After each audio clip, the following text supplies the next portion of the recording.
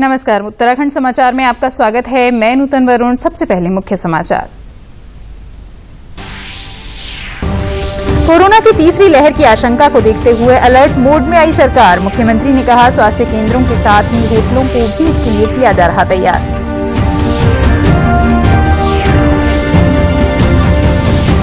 हरिद्वार में पर्यटन मंत्री सतपाल महाराज ने कहा, अतिरिक्त ऑक्सीजन प्लांट के लिए केंद्र को लिखा जा रहा पत्र। पिथौरागढ़ में पेयजल मंत्री बिशन सिंह सुखाल ने की कोविड प्रबंधन की समीक्षा।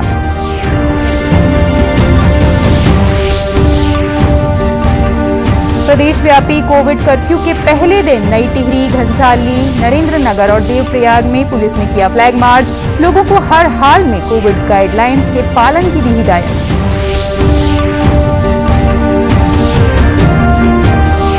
और बाबा केदार की पंचमुखी उत्सव डोली 14 मई को ऊखीमठ से धाम के लिए करेगी प्रस्थान। कोरोना के कारण गौरीकुंड तक वाहन से जाएगी डोली। रुद्रप्रयाग प्रशासन और हक हकूकधारियों के बीच बनी सहमति। और अब समाचार विस्तार से। मुख्यमंत्री तीरथ सिंह रावत आज नैनीताल के दौरे पर रहे। इस दौरान मीडिया से बातचीत में उन्होंने कहा कि लोगों को महामारी से बचाया जा सके। इसके लिए 18 साल से अधिक उम्र वाले लोगों को अब सरकार निःशुल्क कोविड वैक्सीन लगवा रही है। मुख्यमंत्री ने बताया कि उत्तराखंड में तेज़ी से बढ़ रहे संक्रमण से निपटने के लिए अब राज्य सरकार के द्वारा न्याय पंचायत स्तर पर वैक्सीनेशन का काम किया जाएगा। अगर ज़रूरत पड़ी तो बुज़ुर्ग लोगों को घर जाकर भी वैक्सीनेशन किया जाएगा।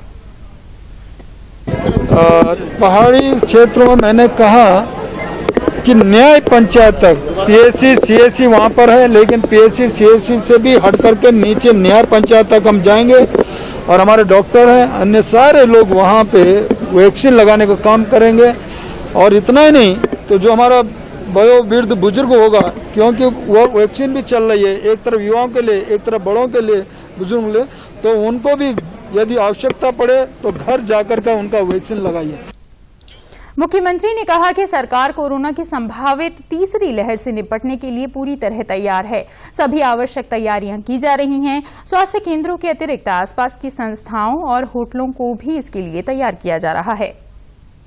हमने तीसरे फ़ेज़ की बात की है उसके लिए मैंने पहले कह दिया कि एक स्वास्थ्य केंद्र और जो संस्था है यही नहीं तो अगल बगल होटलों को पहले से उसके लिए डिपोट कर लीजिए ये हमारी चिंता है उसकी भी हमारी तैयारी है। हम पहले ही सारे निर्णय ले, ले रहे हैं।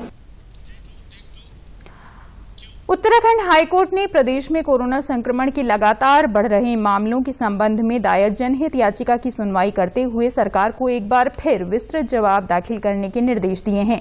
मुख्य न्यायाधीश राघवेंद्र सिंह चौहान की खंडपीठ के समक्ष मुख्य सचिव और स्वास्थ्य सचिव की ओर से शपथ पत्र पेश किया गया था, जिससे कोर्ट संतुष्ट नहीं हुआ।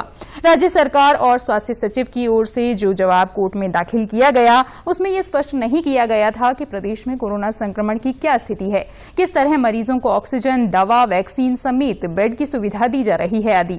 खंडपीठ ने उत्तराखंड से ऑक्सीजन की सप्लाई दिल्ली को किए जाने पर नाराज़गी जताते हुए सरकार से पूछा कि ऐसा क्यों किया जा रहा है? कोर्ट ने वैक्सीनेशन सेंटर भी कोविड अस्पतालों से दूर बनाने, मोबाइल वैन के माध्यम से कोविड जाँच में तेज़ी लाने के भी निर्देश दिए।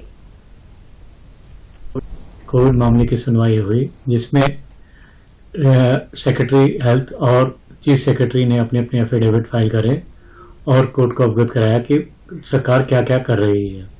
कोर्ट दोनों एफिडेविट से खुश नहीं थी और कोर्ट ने सेक्रेटरी हेल्थ को निर्देश दिया है कि क्लियर और detailed affidavit based on evidence file करें ताकि कोर्ट को पता चल सके कि आप क्या काम कर रहे हैं और उसमें कितनी प्रगति हुई है, क्योंकि लोग मर रहे हैं और उनको बेड्स नहीं मिल रहे हैं अवेलेबल नहीं है बेड्स की अवेलेबलिटी नहीं है ऑक्सीजन प्लांट्स नहीं है ऑक्सीजन नहीं है, हमारे स्टेट में, और कोर्ट ने यह भी आपत्ति जताई कि आपके स्टेट में ऑक्सीजन नहीं है और आप ये दिल्ली क्यों भेज रहे हैं?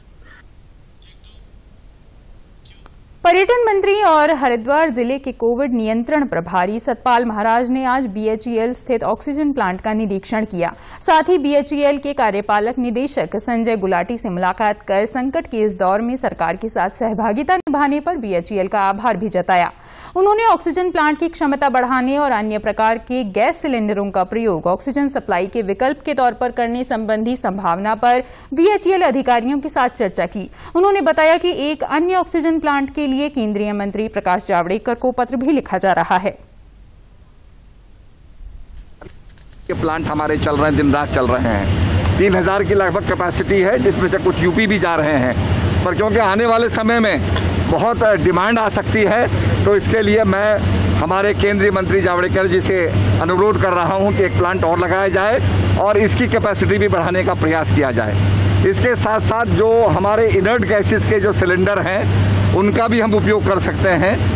इनर्ट गैसेस के अंदर आर्गन आती है न्योन आती है केप्टॉन आती है।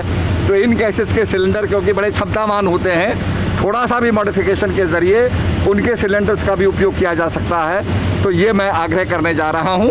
और एक पत्र के माध्यम से मैं जावड़ेकर जी से अनुरोध करूँगा कि एक अतिरिक्त प्लांट और इसकी कैपेसिटी बढ़ाने का स्वीकृति दें। यहाँ से गैस देखा जा रहा है हरिद्वार को गैस नहीं मिल पा रही है ज़्यादातर गैस बाहर जा रही है। इसके लिए भी कुछ करेंगे आप? इसके लिए हमने बताया है और इसके लिए मिलेगी। हमें 16 मेट्रिक टन मिलनी थी उसकी जगह। हमें झबरेडा से 30 मेट्रिक टन मिल रही है। प्रभारी मंत्री ने जिलाधिकारी और सीएमओ के साथ हरिद्वार ज़िले में कोरोना के उपचार और नियंत्रण संबंधी तैयारियों की समीक्षा भी की। साथ ही कोरोना की तीसरी लहर की आशंका को देखते हुए बच्चों के लिए समुचित दवाओं का प्रबंध करने के भी निर्देश दिए।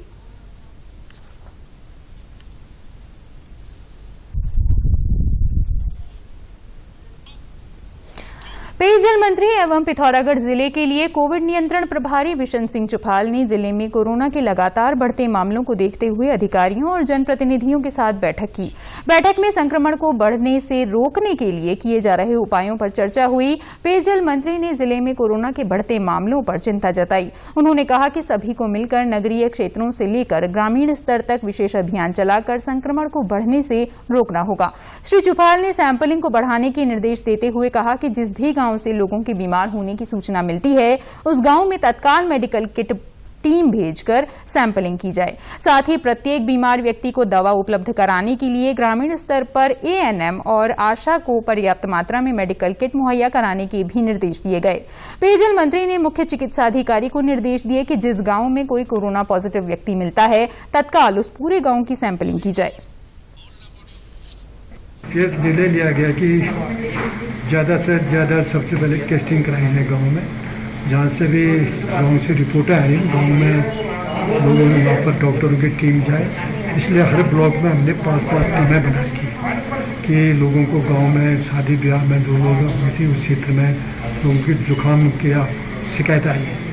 तो वहाँ तक किट पहुँच जाए, आशा के माध्यम से किट पहुँचाने का और दूसरा जो मीट के हमारे लिया निर्णय लिया गया कि जो ऑक्सीजन की हमारे भविष्य में कमी न रहे तो हमारे पास सिलेंडर की कमी है। सिलेंडर के बढ़ाने की बात आई है बीच में। अभी मैं स्वास्थ्य सचिव से भी अन्य लोगों से भी बात करता हूँ, मुख्यमंत्री से सिलेंडर की व्यवस्था कैसे हो सकती दिल्ली में बात करें। बैठक में जिलाधिकारी ने बताया कि कोरोना संक्रमण के प्रसार को रोकने के लिए ज़िले के प्रत्येक विकास खंड में पाँच पाँच टीमें बनाई जा रही हैं, जो रोज़ाना उस क्षेत्र के पाँच गाँवों में जाकर कोरोना सैंपलिंग करेंगी। उन्होंने कहा कि गाँव में कोरोना संक्रमण की रोकथाम के लिए सभी आशा कार्यकर्तियों को पर्याप्त संख्या में मेडिकल किट, ऑक्सीमीटर और थर्मामीटर उपलब्ध कराए जा रहे हैं। उन्होंने बताया कि जिला और बेस चिकित्सालय में ऑक्सीजन उत्पादन यूनिट और आरटीपीसीआर लैब की स्थापना के लिए तेज़ी से काम चल रहा है।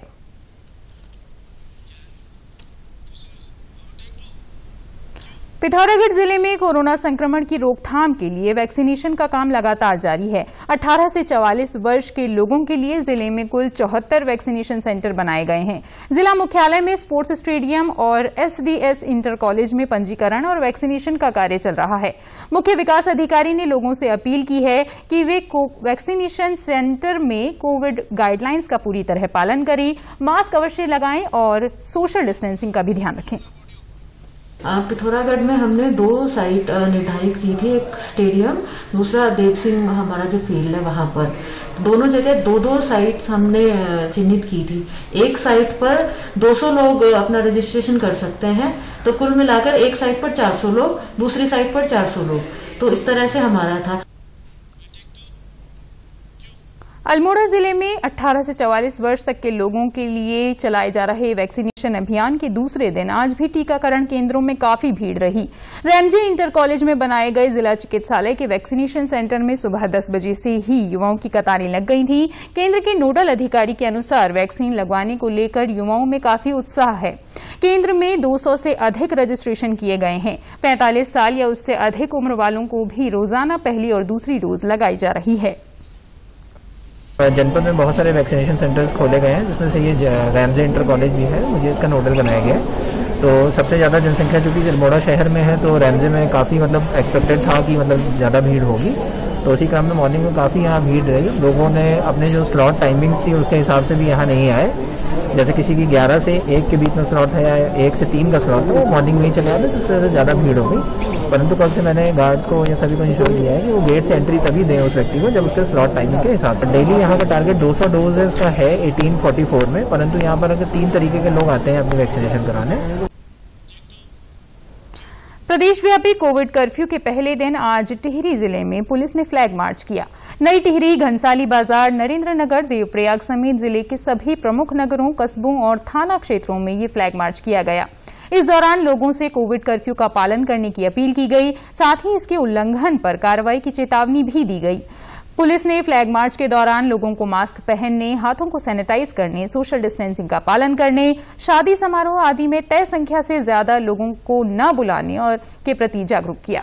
इस संदर्भ में सभी थाना प्रभारियों को स्पष्ट दिशा निर्देश दे दिए गए हैं। साथ ही साथ जो भी व्यक्ति बिना मास्क पहने, बिना सामाजिक दूरी के या नियमों का उल्लंघन या कोरोना कर्फ्यू का उल्लंघन करते हुए पाएँगे, विशेष रूप से जो शादी के समारोह है, उसमें यदि संख्या निर्धारित से अधिक पाई जाती है तो उनके खिलाफ लगातार हम लोग मुकदमे कायम कर रहे हैं और आगे भी ये कार्रवाई जारी रहेगी।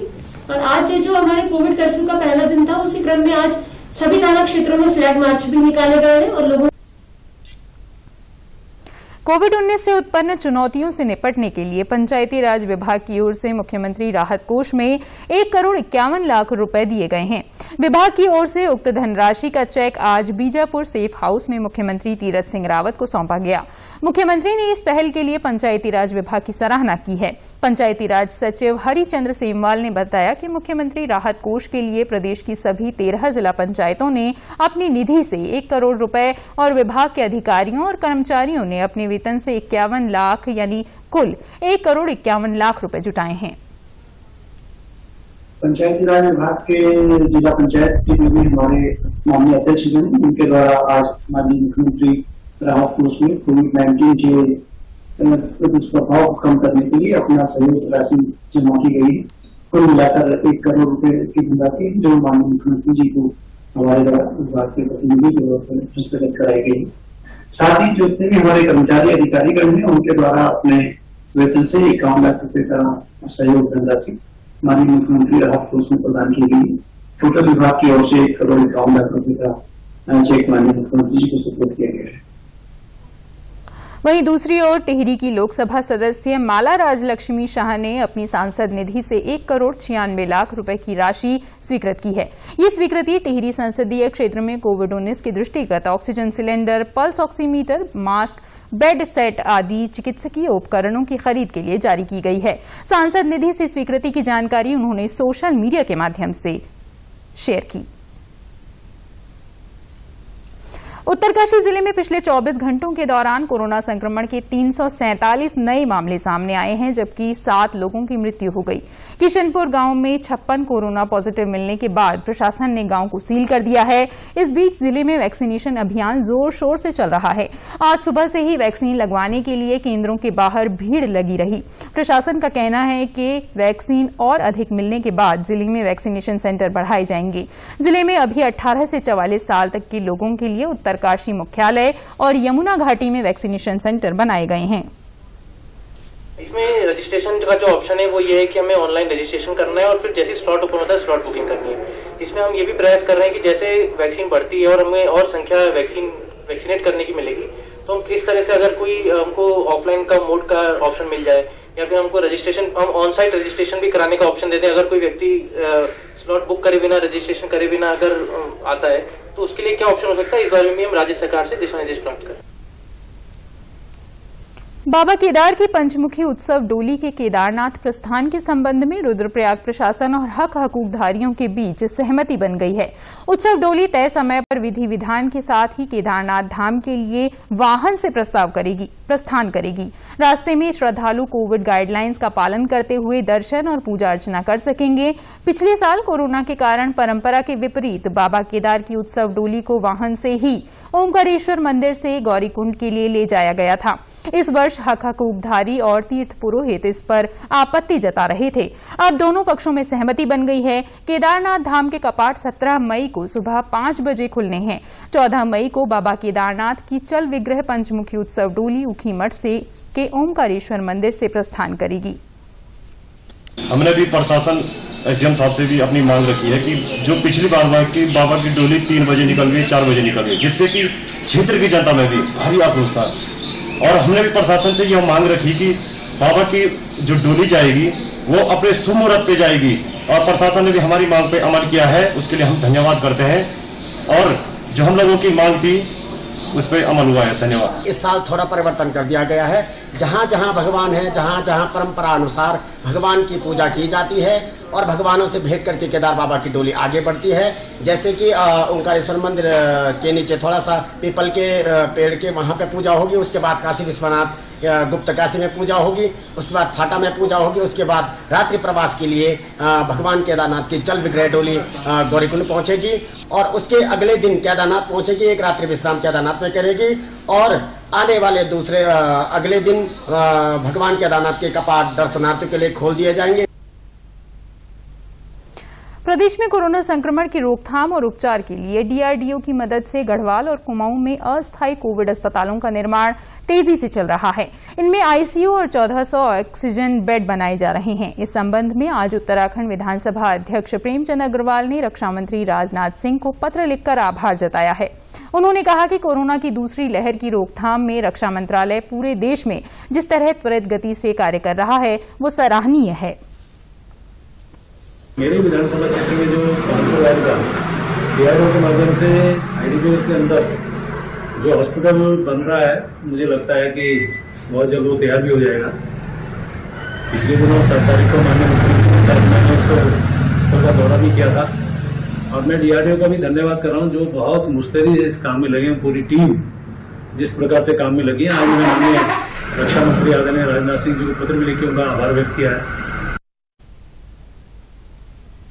और अब प्रदेश में कोरोना की स्थिति पर एक नज़र। आज प्रदेश में कोरोना के 7,120 नए मामले सामने आए हैं। राज्य में सक्रिय मामलों की संख्या छिहत्तर हो गई है जबकि तिरपन लोगों का आज टीकाकरण किया गया है। और डॉक्टर स्पीक के अंतर्गत आज हम आपको मिलाने जा रहे हैं neuro surgeon doctor Pankaj Arora से जो बता रहे हैं कोरोना संक्रमण के दौरान मनोबल कैसे बनाए रखें। सुझाव सुनिए।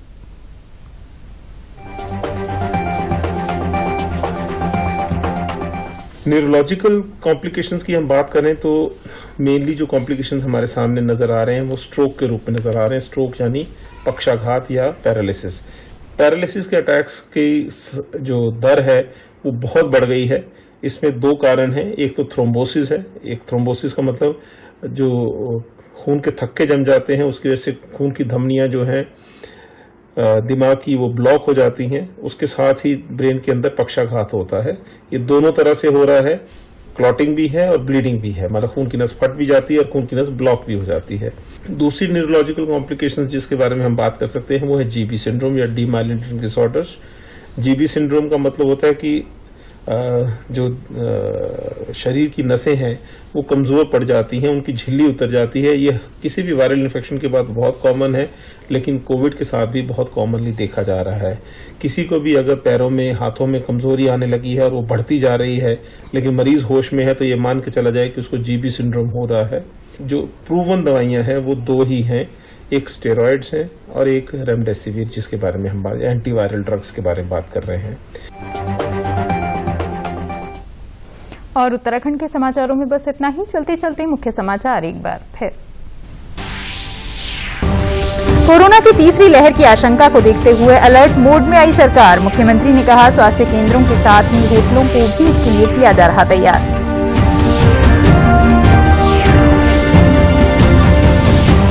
हरिद्वार में पर्यटन मंत्री सतपाल महाराज ने कहा, अतिरिक्त ऑक्सीजन प्लांट के लिए केंद्र को लिखा जा रहा पत्र। पिथौरागढ़ में पेयजल मंत्री बिशन सिंह सुखाल ने की कोविड प्रबंधन की समीक्षा।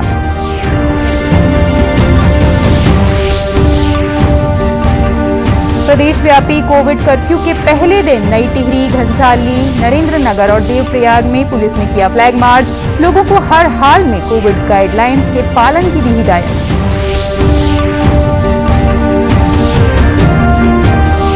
और बाबा केदार की पंचमुखी उत्सव डोली 14 मई को उखी मठ से धाम के लिए करेगी प्रस्थान।